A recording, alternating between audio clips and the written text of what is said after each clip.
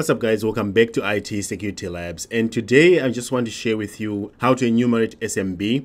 This is part of my goal to complete the cyber defense challenge in Try Hack Me and if you go to the first introduction here, I'm working on SMB today under network services.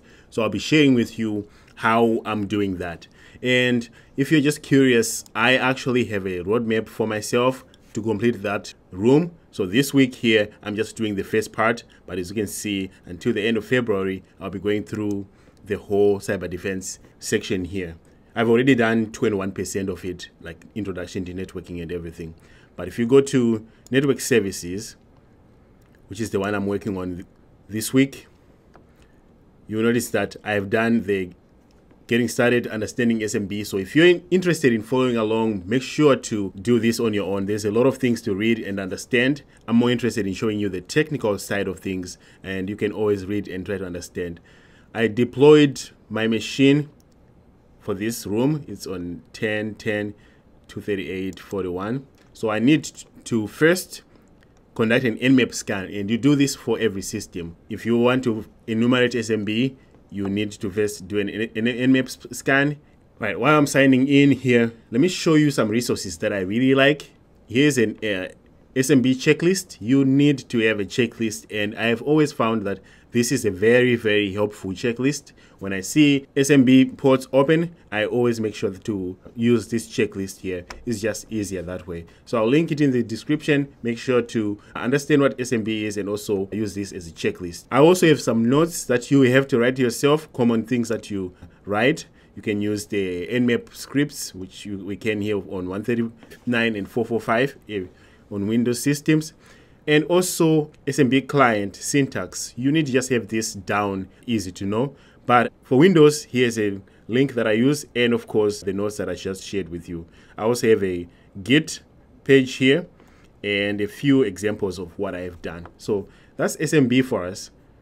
Once Kali Linux starts here, we'll run nmap scan. All right, so in my Kali Linux, I already have a folder called enum SMB uh, because I always like to work in folders. Then we just go back here. We, Asked to conduct an nmap scan, then of course see how many ports are open. SMB ports are usually not high. Nmap minus SV minus SC. So let's see which how many ports come. This will not scan scan all ports. This will just scan the top 1,000 ports, but that's okay. All right. So after Nmap is done, only have three ports here. And remember, I only scanned the top 1,000 ports here.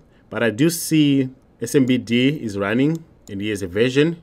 So you can already go and try to see if this version is vulnerable for exploitation and everything else. But for now, our first answer is going to be 3.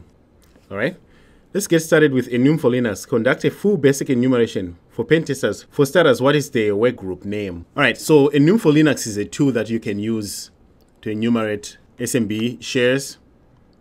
And if we go to our, our checklist here, you'll notice that it's uh, one of the tools that you can use here. So enum for Linux minus A, then the IP address. Capital A, I think, is all inclusive. So we're just going to do that. So this tool will go and enumerate our SMB and tell us if there's any work group. It will tell us information about the domain, if there's any, and some users sometimes if it finds any, which is really good. So right now, we got a domain or work group of work group. We also found some shares. Here are some shares for user profiles which are shared, which is interesting. So you just have to know how to use this tool to find information that you want. So let's answer some questions here. What ports is SMB signing running on? Well, we have two ports from our Nmap scan. We have uh, 139 and 5, and that is correct. Yeah, so 139 and 445, that's from the results. You can see this from Nmap. Then let, us get started with enum for Linux, and we did that. What is the work group name? The work group name is somewhere in here. It's either a domain or work group. In this case, it's called work group. What comes up as the name of the machine? From enum for Linux, you can find the host name for the machine, which is kind of nice. I think it's, the, yeah, it's this one. It's called Polo SMB. So this is where you find the name of the machine, the platform ID, In this case, it's a Samba Ubuntu share, and here's the version. So you have everything that you need here. Then uh, what operating system version is running, okay? We already found that it's this one. All this information here is valuable for you to be able to exploit the system because you are now knowing more about the target than you did before you even started. What share ticks out is something we might want to investigate. Okay, what shares? Let's look at the shares. Here are the shares. Net logon, that's just a default one. User profiles. I mean, if you can get into user profiles, you find their SSH keys, uh, whatever their artifacts are. So, of course, user profiles. Is it profiles? All right. So we just finished the enumerating SMB. Now we need to move to, okay, how do we exploit that SMB? So the same SMB is, is right there. So now we need, just need to find out, okay, what would be the correct syntax to access SMB code secret as a user suite on the on that machine on this machine, or they didn't even um, they're not even using the same machine. The correct syntax is say SMB client, then the IP address, the share that you want to get to, minus capital U, then specify the user, then minus P for port. That is the correct syntax, and you can have this in your notes as well, but that's the correct syntax here. Now that we have the syntax, let's see if we can try to exploit this vulnerability. You can list users, the name of the share, and the suspected vulnerability. We're going to use the username of Anonymous to the share that we found earlier, and we're not giving it any password. So does it allow anonymous access? There's a few ways you can test this for anonymous access. Uh, profiles or profile, that's the one that we are after. All right. And then of course the user is anonymous.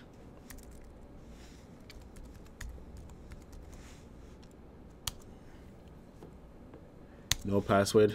All right, we're in. So it does allow anonymous. The answer is yes. Have a look around for any interesting documents that could contain valuable information. Who who can we assume this profile folder belongs to? So ls, ls minus la, sudo is admin successful. Oh, that's interesting. Mm, working from home.txt. That's the only one that is interesting. Usually I'm looking for, oh, there's also a .ssh file here. So there's a .ssh file. All right, so we need to steal all these things here. I'm going to exit for now so I can be in a clean directory. So I need to be in my machines, enum SMB. Okay, so once you're in a directory, then you can start stealing and everything will be in here. All right. Yes. So I'm going to do a get.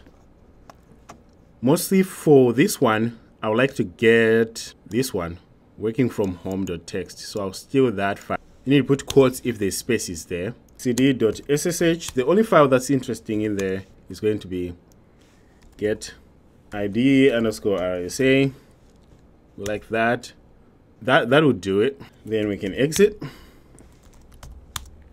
All right, now let's answer some questions here. Who can we assume the profile belongs to? Well, from what I just saw here, Uh, John. Okay, this must be John then.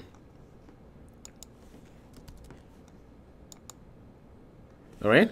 What sa what service has been configured to allow him to work from home? SSH. Okay. We, know, we now know this directory is the same, or a .ssh. That's what they're asking for. We already found that, and we got in and we store things. This directory contains authentication keys that allow which keys is most useful to us? The one that is most useful to us is ID underscore RSA. That's the key that we will use to get in. Download this file to the local machine. Chmod 600. Yeah, you need to make sure that it's 600 ID underscore RSA. Otherwise, it won't work. Okay. Now, using this information that we've gathered here, can we try to log into the server? What is smb.txt? Okay, so we should be able to just SSH into the system. So using the information that we have here is John characters. To SSH, we need, just need to say SSH using John's last name. You could have tried John too. characters add. Then we need to say minus i to specify id underscore rsa because we want to use that file and see if we can get in. It's asking us to accept. Just edit the host. And we're in. As John. So if we clear ls cat smb.text and of course we just enumerated smb here.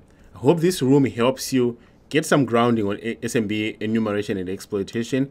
There's obviously more that you can do with smb than what, what, what, what we just covered here but i hope this really helps you. If you can please complete the learning path that i'm on is this one the cyber defense learning path. And as you can see i've done some po a portion of it. I'm doing it by myself. I'm on 22 percent. You will learn a lot. Do not neglect the introduction here. Otherwise if you like this please remember to like and subscribe. Otherwise i will see you next time